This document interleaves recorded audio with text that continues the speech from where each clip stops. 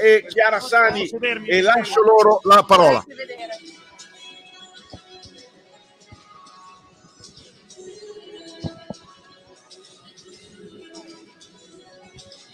Eccoci, allora, eh, con tanto complimenti per i primi due set comunque veramente favolosi. Un tuo commento caldo di questo risultato, di questa partita?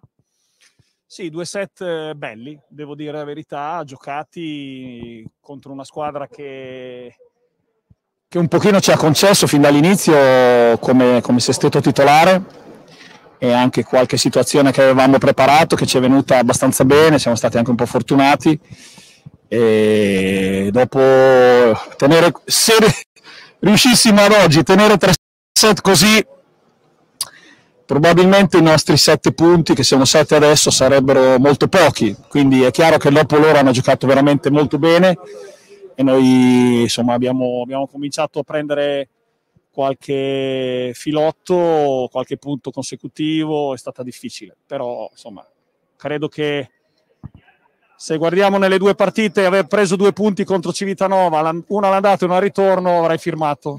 Quindi va bene così.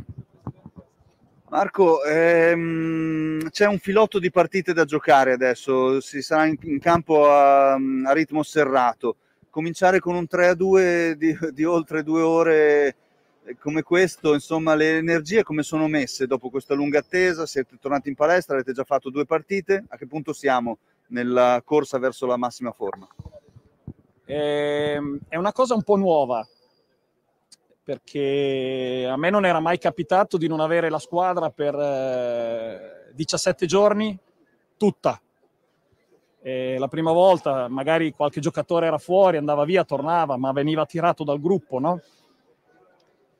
Abbiamo cercato di fare il nostro meglio, abbiamo analizzato la cosa. È chiaro che invece di passeggiare o trotterellare bisogna galoppare. E adesso subentrerà un po' la stanchezza. Sicuramente prima mancava un po' di performance, adesso manca la stanchezza, c'è la stanchezza, però insomma credo che un 3-2 contro Civitanova, anche se lungo, anche se faticoso, vada molto molto bene.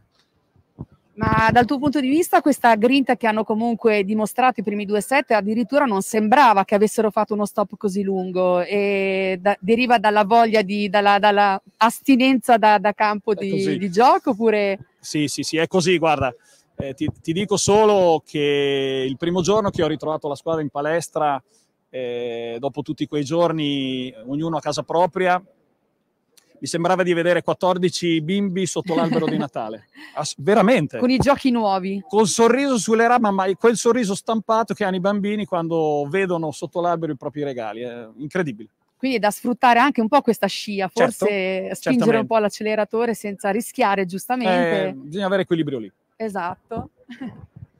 Oggi Marco li hai fatti entrare tutti, abbiamo visto praticamente tutta la rosa a disposizione, manca ancora Stefani che era forse quello più indietro, che aveva più mh, affaticamento dall'esperienza che ha vissuto col coronavirus.